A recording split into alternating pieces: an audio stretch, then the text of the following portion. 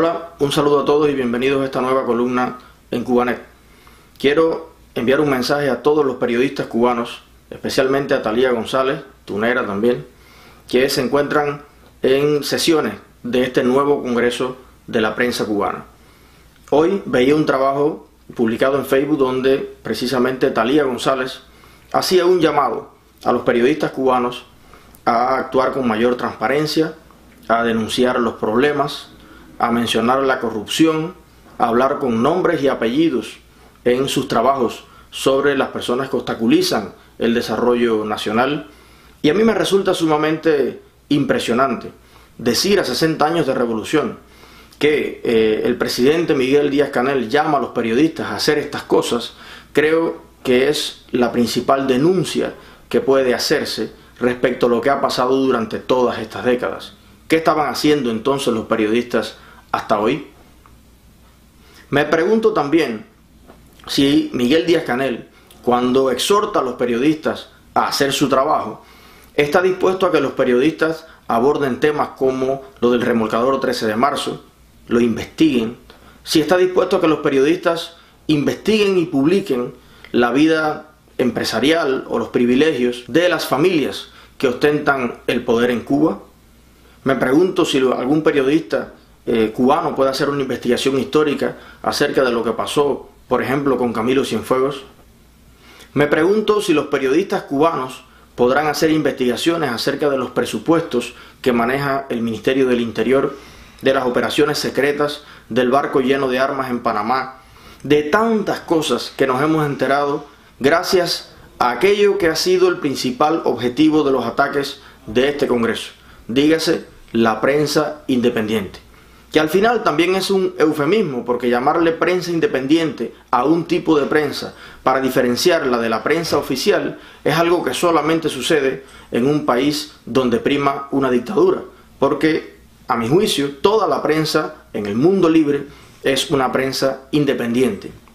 ya que un medio o un periodista o un editorialista decida darle o restarle apoyo a un partido o a una ideología, bueno, Precisamente de eso se trata la democracia, de tener tantos medios como tendencias existan en un país y las personas pueden contrastar información en esos diferentes medios. Pero yo más bien, eh, lejos de atacar a la prensa independiente como lo ha hecho el gobierno cubano y como lo han seguido varios de los periodistas oficialistas, yo le daría un gran premio,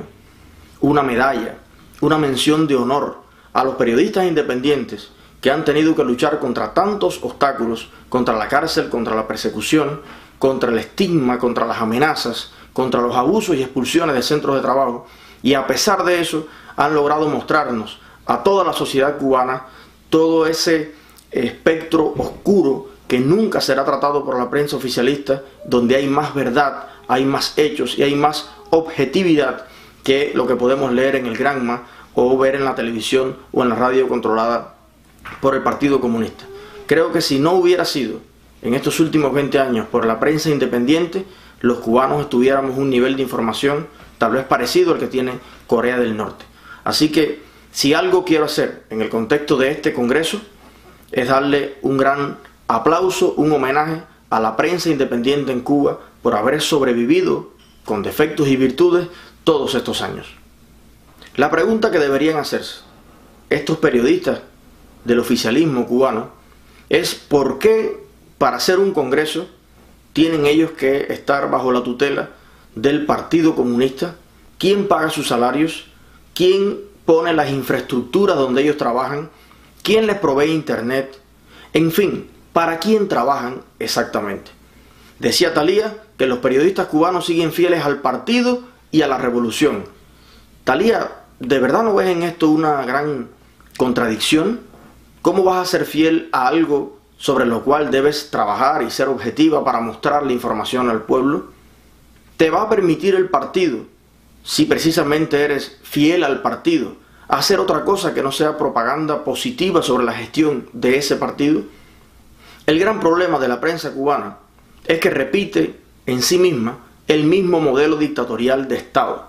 La prensa cubana no representa ni trabaja en pos de todos los cubanos que el 94-95% no son miembros del Partido Comunista. La prensa cubana, desgraciadamente, representa y trabaja por defender los intereses del Partido Comunista. Puede hacer determinada crítica en determinado espacio, muy autorizada, precisamente para que parezca que hay crítica en el país. Pero de fondo jamás va a permitir quienes le pagan, quienes ponen el transporte, los hoteles, la comida, toda la infraestructura para que se haga este Congreso,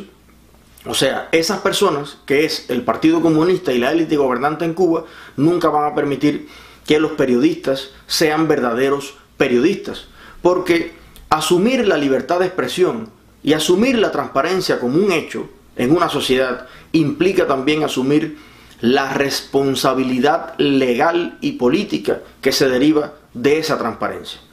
Cuando un periodista publica la corrupción o la malversación o la ineficiencia de un ministerio, tendría probablemente que ese ministro responder ante la justicia por el desvío o por el mal empleo de los limitadísimos recursos que tiene nuestra nación. ¿Están dispuestos a eso?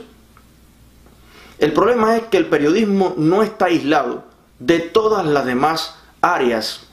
de una sociedad. El periodismo es un eslabón en una cadena que respeta y asume la responsabilidad de vivir en libertad, donde cada cosa de las que puedan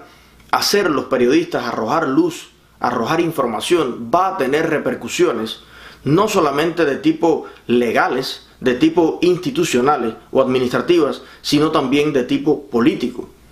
El resultado de lo que pueda publicar el periodismo evidentemente da o quita apoyo, genera estados de opinión y finalmente, en una sociedad libre, debe generar o quitar votos, apoyo de la, del pueblo a un proyecto político determinado. Mi esperanza está basada en las aspiraciones de toda esa juventud periodística, los estudiantes y los que hoy están en el ejercicio de la profesión, que estoy seguro aspiran a hacer algo más en sus vidas, en sus carreras, que no simples repetidores de la propaganda de un partido. Así que mi invitación a todos estos jóvenes es una sola. Rompan el molde. No le sigan pidiendo permiso a alguien para ser libres y para trabajar acorde a los principios y a los valores que existen en cada uno de sus corazones.